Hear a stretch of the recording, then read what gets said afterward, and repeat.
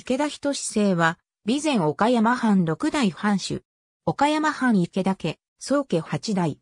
安永2年4月8日、第五代藩主、池田知世の次男として、江戸藩邸で生まれる。初出の兄清京がいたが、正室の子であったことから長男として、届け出がなされた。完成2年に元服する。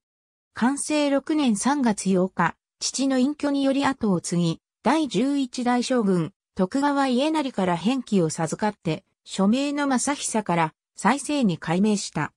父、知政の代の法満財政を改めて、役職に見合う予算制度の導入や出費の制限など、倹約財政を断行して、反財政の回復を図った。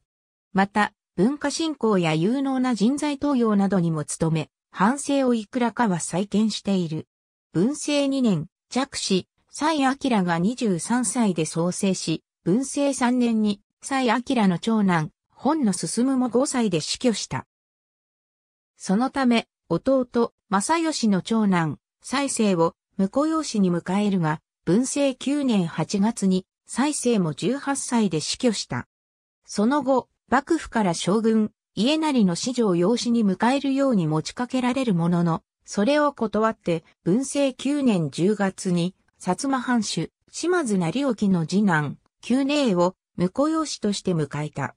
文政12年2月7日、家督を、蔡聡に譲って隠居する。天保4年6月26日、岡山城西の丸で死去した。